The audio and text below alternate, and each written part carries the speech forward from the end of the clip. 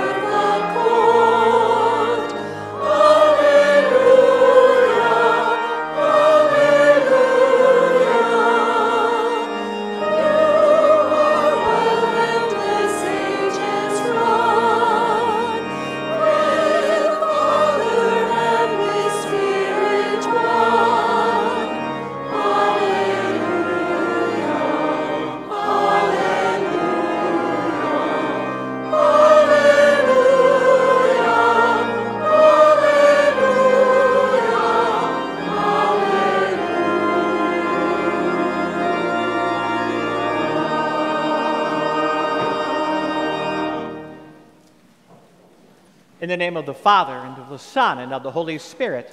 Amen. The grace of our Lord Jesus Christ, the love of God, and the communion of the Holy Spirit be with you all. With Happy Easter. Happy Easter. Our happiness comes because Christ is risen. Therefore, our Easter joy is our knowledge of his victory over death. It leads us to be grateful for the endless love of our Savior and a confidence that humbles us to acknowledge our sins and so prepare ourselves to celebrate the sacred mysteries. Lord Jesus, you raise us to new life. Lord, have mercy. Lord, have mercy. Lord Jesus, you forgive us our sins. Christ, have mercy. Christ, have mercy. Lord Jesus, you feed us with your body and blood. Lord, have mercy. Lord, have mercy. May Almighty God have mercy on us, forgive us our sins, and bring us to everlasting life. Amen.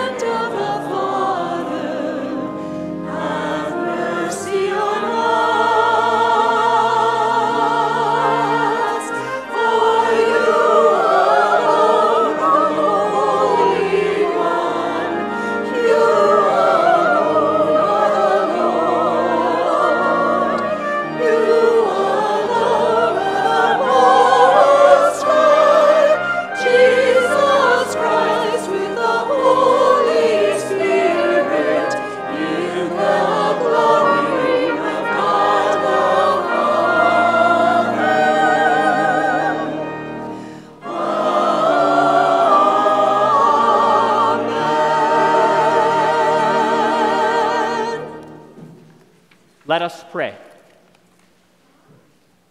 O God, who on this day, through your only begotten Son, have conquered death and unlocked for us the path to eternity, grant, we pray, that we who keep the solemnity of the Lord's resurrection may, through the renewal brought by your Spirit, rise up in the light of life. Through our Lord Jesus Christ, your Son, who lives and reigns with you in the unity of the Holy Spirit, God forever and ever.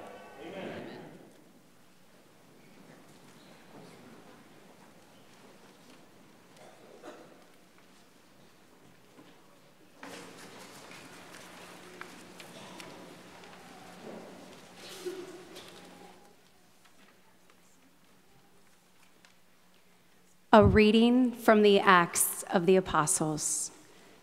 Peter proceeded to speak and said, You know what has happened all over Judea, beginning in Galilee after the baptism that John preached, how God anointed Jesus of Nazareth with the Holy Spirit and power. He went about doing good and healing all those oppressed by the devil, for God was with him. We are witnesses of all he did, both in the country of the Jews and in Jerusalem. They put him to death by hanging him on a tree. This man God raised on the third day and granted that he be visible, not to all the people, but to us, the witnesses chosen by God in advance who ate and drank with him after he rose from the dead. He commissioned us to preach to the people and testify that he is the one appointed by God as judge of the living and the dead. To him, all the prophets bear witness that everyone who believes in him will receive forgiveness of sins through his name. The word of the Lord.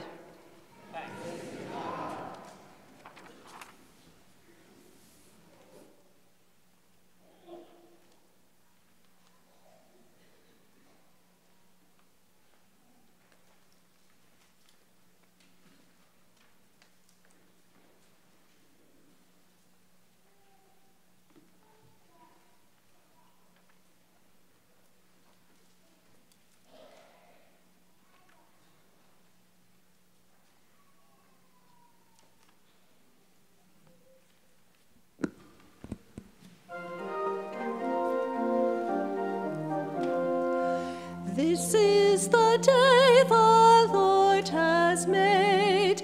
Let us rejoice, let us rejoice, let us rejoice and be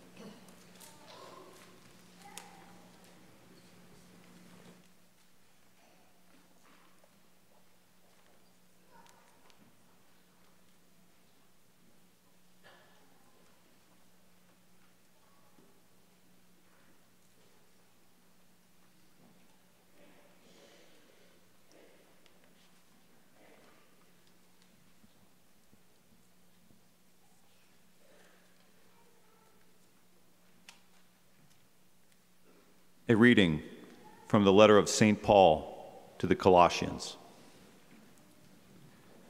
Brothers and sisters, If then you were raised with Christ, seek what is above, where Christ is seated at the right hand of God. Think of what is above, not what is on earth. For you have died, and your life is hidden with Christ in God.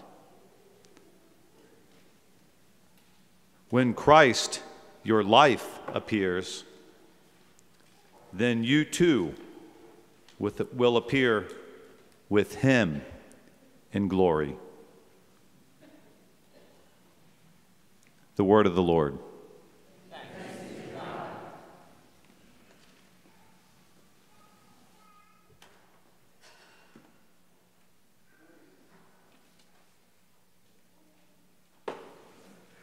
In reminder, please remain seated during the singing of our Easter sequence.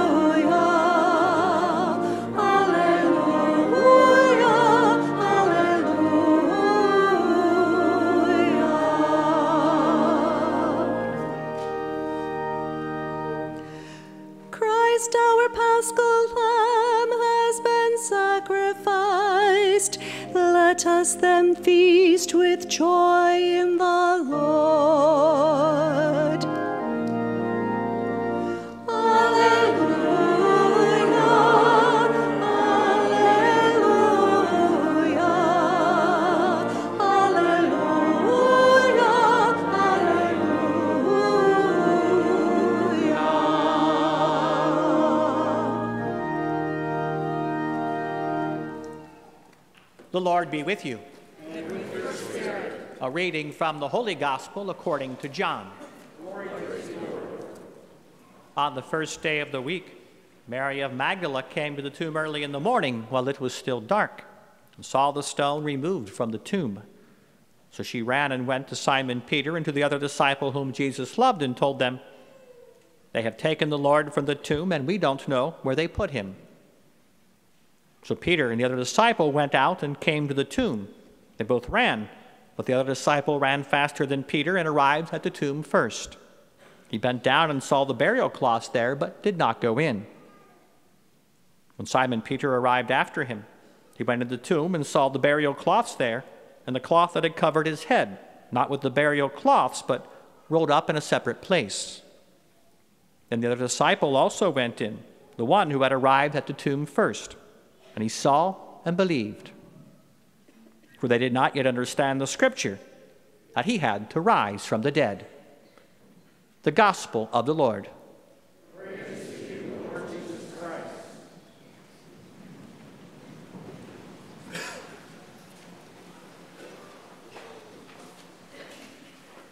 We often tease about our local weather. If you don't like it, wait 10 minutes and it will change.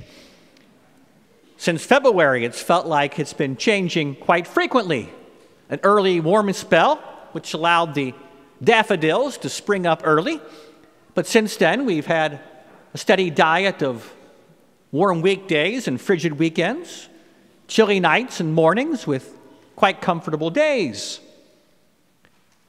Last Sunday, it was too windy on Saturday afternoon for our Palm Sunday procession to begin outside and too cold on Sunday morning at the early Mass. But by 11:15 it had warmed up enough for me to decide we could do it. I think it's because I wanted to do it. It's warm enough, even if not warm for everyone else. It's the kind of weather from day to day and week to week that leaves us wondering, as spring and fall often do, will I need an extra layer? When I've gone out, will I wish I had a coat, gloves, and a hat perhaps? Or the opposite, in which we put our layers on and then the warmth of day comes upon us and we wish we had dressed a little lighter. We hear that Jesus' burial cloths are left behind, the only sign that he was once there to his disciples. Witnessed first by John as he had raced ahead of Peter to the tomb after Mary of Magdala had let them know that the tomb was open and empty. Peter heads in and finds even the cloth that had been wrapped around Jesus' lifeless head. Might seem ironic to us that our gospel narrative of our Lord's resurrection does not include him. What is included is the response of his disciples to the absence of his presence. An absence which leads us, in finding these burial cloths left behind, to strive to understand the fullness present in that absence. Our focus is meant to be then a reminder that we take on Christ's burial cloth in our baptism, a white garment, a white garment given to us, as we are told, through baptism we become a new creation and being clothed in Christ. The white of the garment is a reminder that the stain of sin is washed clean by the blood of the Lamb. His paschal sacrifice for us, his passion and death. The time in the tomb, amidst those burial cloths, seemingly bound forever, leads us to find in the empty tomb with these burial cloths left behind a reminder that Jesus' death and resurrection does not exempt us from our own death but rather it reminds us that through our death in baptism, we may be joined to his resurrection. As our newly baptized last evening at the Easter Vigil, after they got dried off since they were inside our baptismal font with me, they came back into church wearing that white garment, a reminder to all of us that they were now unbound by sin unbound by the reality of sin and unbound from their own. It is this renewal that is meant to be a constant reminder for us, especially on Easter Sunday, as each of us, as they did last evening, introduced themselves to the promises of baptism, that we ourselves renew them. Reminded that in baptism we have been unbound, and yet we still choose to bind ourselves back up which is why our renewal of baptismal promises always begins with first acknowledging the need to renounce Satan and all his works and all his empty promises. A false notion of freedom that seems to be an openness to us to what we want, but is in fact a dead end, a closed tomb, closed and sealed. We find in the open tomb of Christ that we in baptism, who then, after rejecting Satan and all his works and all his empty promises, then profess our belief in the Father who sent us our Savior, and our Savior who, in dying and rising for us, then, through the gift of the Holy Spirit and the life of the church, not only forgives our sins, but through this forgiveness invites, invites us to share in his resurrection. It is a reminder that is necessary for us, but as St. Augustine noted, oh, happy fall, a way in which, by a reminder that we do sin, that we then, in seeking our sins' forgiveness, understand better the need to live its freedom. Might seem out of season, but like I noted at the beginning of my homily, if you've looked ahead at next week's forecast, you see we're going to get down to the 30s again. So, I'll make a reference to Christmas. In Charles Dickens' A Christmas Carol, as Ebenezer Scrooge's old business partner and long deceased, Jacob Marley, begins to rattle his way in chains up the steps toward Scrooge's apartment and passes through that closed door. In entering the door, he unwraps the burial cloth which has been around his head and remained with him. Immediately upon removing the cloth, his mouth droops down. A openness that frightens Scrooge appropriately, but an openness as the story leads us to find not simply the necessity, but the possibility of renewal.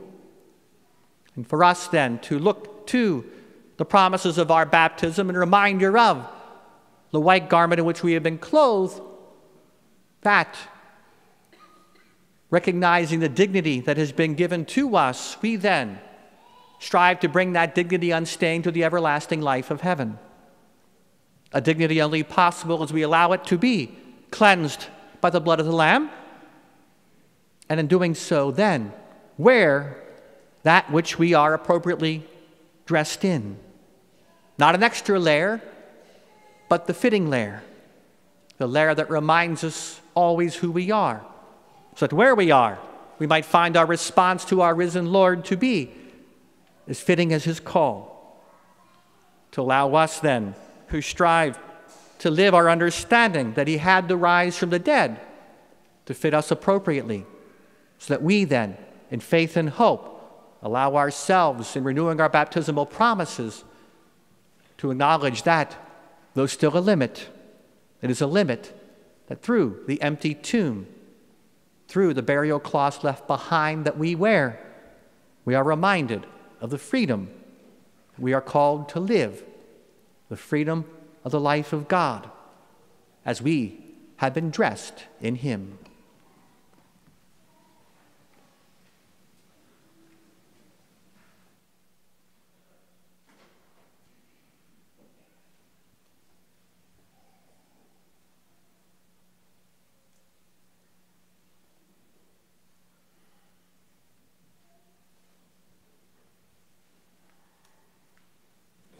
Please stand, sisters and brothers.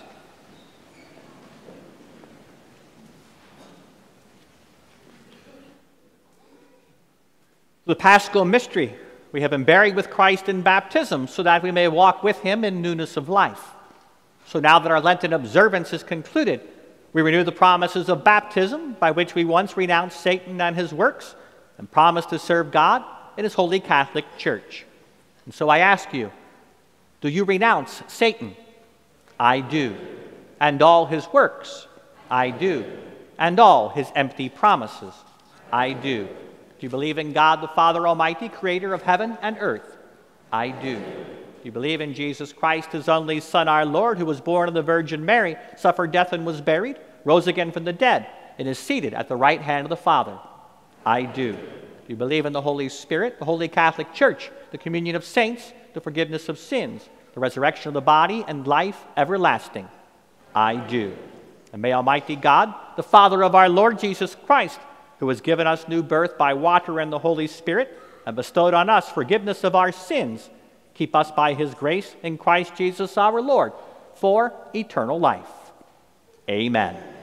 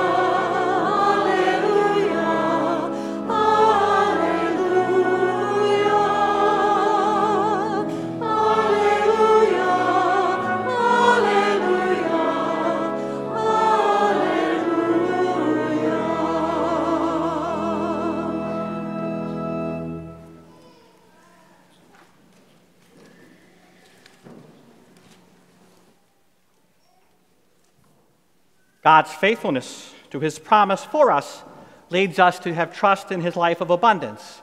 And so we raise our minds and hearts in these prayers of intercession.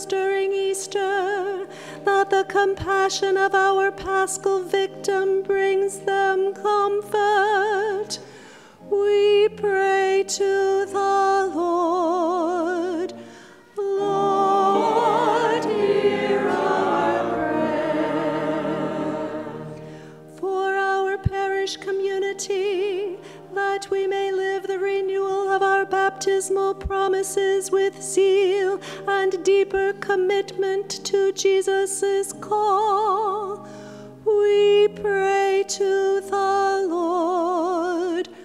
Lord, hear our prayer. For those who have died in the hope of the resurrection, that they may rest in eternal peace, let us pray to the Lord. Lord, hear our prayer. Lord Jesus, our Redeemer, as you offer us the life of glory, may the prayers we offer this Easter day increase our faith and hope in your eternal love. For you live and reign forever and ever.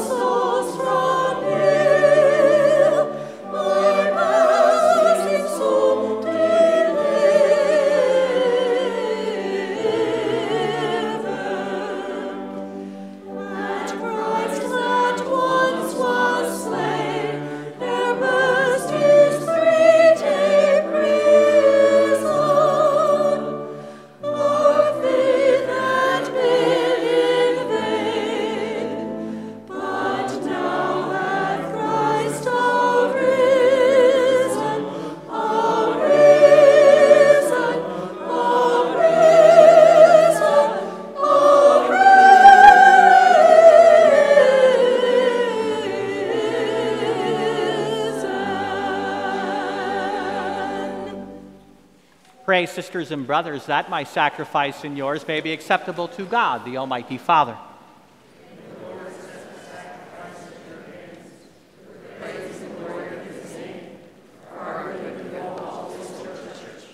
Exultant with paschal gladness, O Lord, we offer the sacrifice by which your church is wondrously reborn and nourished. Through Christ our Lord. Amen. The Lord be with you. With Lift up your hearts. Let us give thanks to the Lord our God. It is right and just. It is truly right and just, our duty and our salvation at all times to acclaim you, O Lord. But on this day, above all, to lodge you yet more gloriously when Christ our Passover has been sacrificed. For he is the true Lamb who has taken away the sins of the world. By dying, he has destroyed our death, and by rising, restored our life. Therefore, overcome with paschal joy, every land, every people exults in your praise, and even the heavenly powers with the angelic host sing together the unending hymn, hymn of your glory as they acclaim.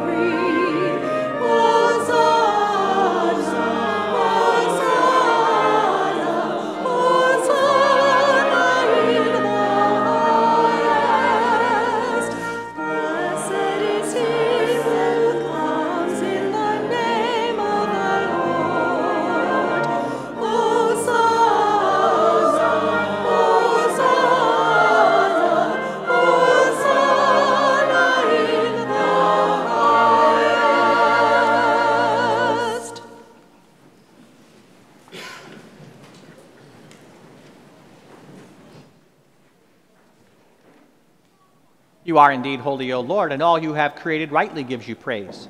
For through your Son, our Lord Jesus Christ, by the power and working of the Holy Spirit, you give life to all things and make them holy. And you never cease to gather a people to yourself, so that from the rising of the sun to its setting, a pure sacrifice may be offered to your name. Therefore, O Lord, we humbly implore you, by the same Spirit, graciously make holy these gifts we have brought to you for consecration that they may become the body and blood of your Son, our Lord Jesus Christ, at whose command we celebrate these mysteries. For on the night he was betrayed, he himself took bread, and giving you thanks, he said the blessing, broke the bread, and gave it to his disciples, saying, Take this, all of you, and eat of it, for this is my body, which will be given up for you.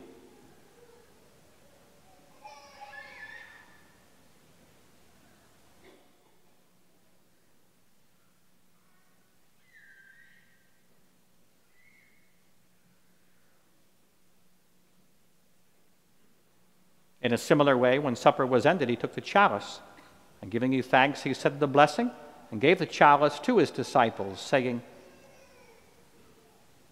Take this, all of you, and drink from it, for this is the chalice of my blood, the blood of the new and eternal covenant, which will be poured out for you and for many for the forgiveness of sins.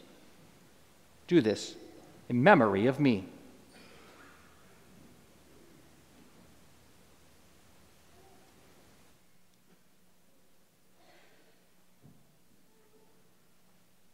The mystery of faith.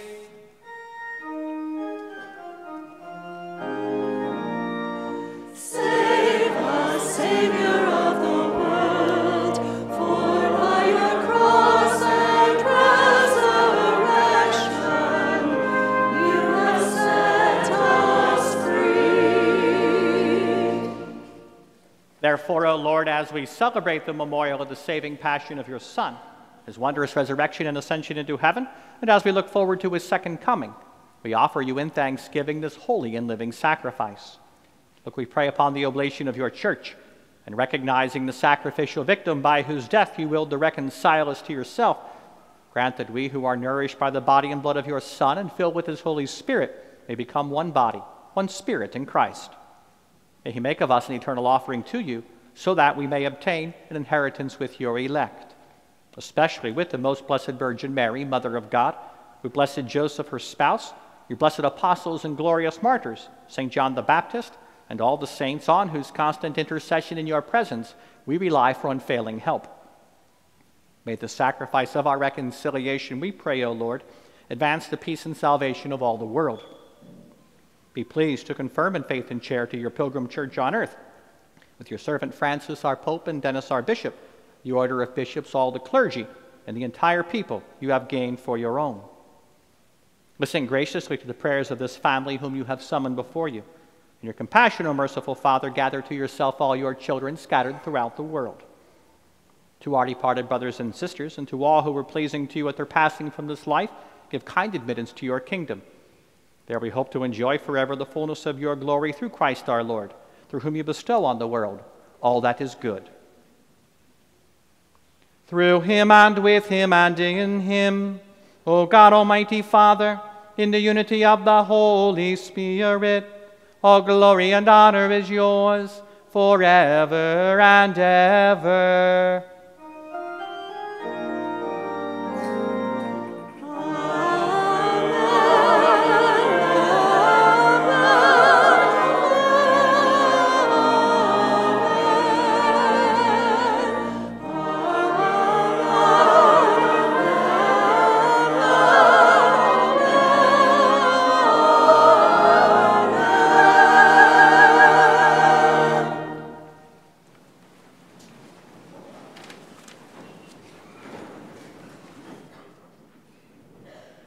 Savior's command, and formed by divine teaching, we dare to say, Our Father, who art in heaven, hallowed be thy name.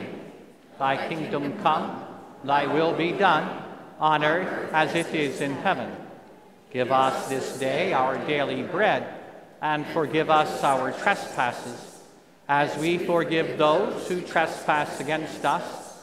And lead us not into temptation, but deliver us from evil. Deliver us, Lord, we pray, from every evil. Graciously grant peace in our days, that by the help of your mercy we may be always free from sin and safe from all distress, as we await the blessed hope, coming of our Savior, Jesus Christ.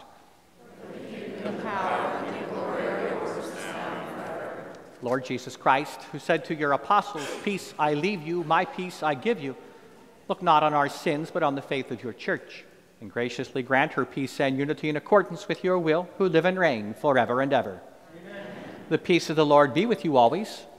With Let us offer each other the sign of peace.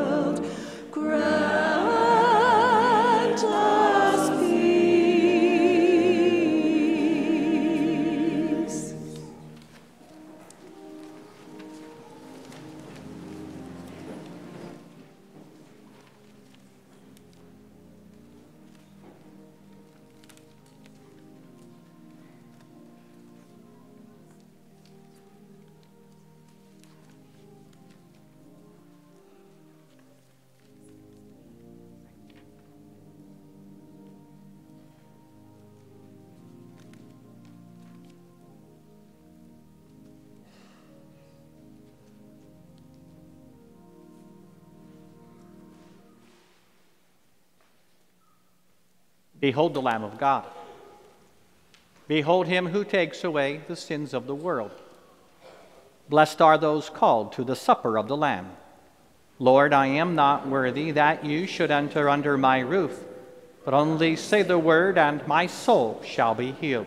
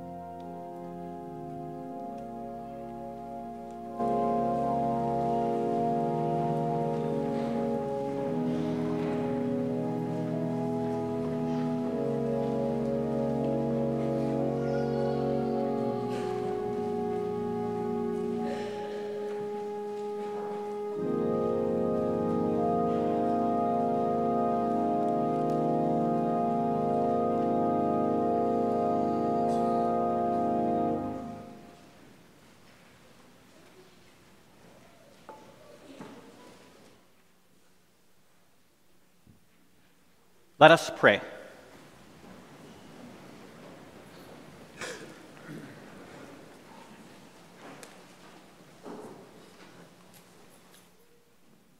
Look upon your church, O God, with unfailing love and favor, so that renewed by these paschal mysteries, she may come to the glory of the resurrection through Christ our Lord.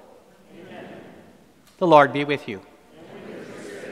May the blessing of Almighty God, Father, Son, and Holy Spirit come down upon you and remain with you forever. Amen.